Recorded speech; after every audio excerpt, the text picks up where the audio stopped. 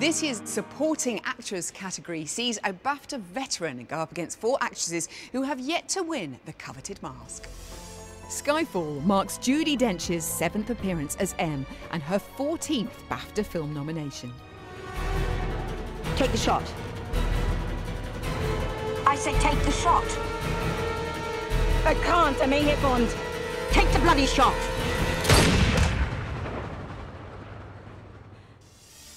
First time nominee Anne Hathaway plays the doomed Fantine in Les Miserables, a role she saw her mother perform on stage at the age of eight. Yes, it's true. There's a child, and the child is my daughter. And her father abandoned us, leaving us flat. Now she lives with an innkeeper man and his wife, and I pay for the child. What's the matter with that? Helen Hunt also receives her first BAFTA nomination this year. In The Sessions, she plays a professional sex surrogate who helps a polio sufferer lose his virginity. I don't just write poems to anyone. Mark, what do you want me to say? How much I was touched by that?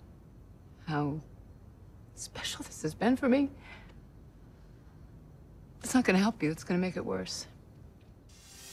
Sally Field is 20 years older than Mary Todd Lincoln was in 1865 and had to persuade Steven Spielberg to give her the role.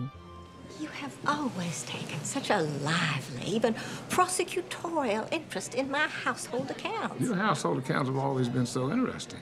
Yes, thank you. It's true. The miracles I have wrought. I have fertilizer bills and cutlery invoices, but I had to. Also nominated for playing the wife of a charismatic leader is Amy Adams, who plays Peggy in The Master, who may believe in the cause even more than her husband. This is something you do for a billion years or not at all. This isn't fashion.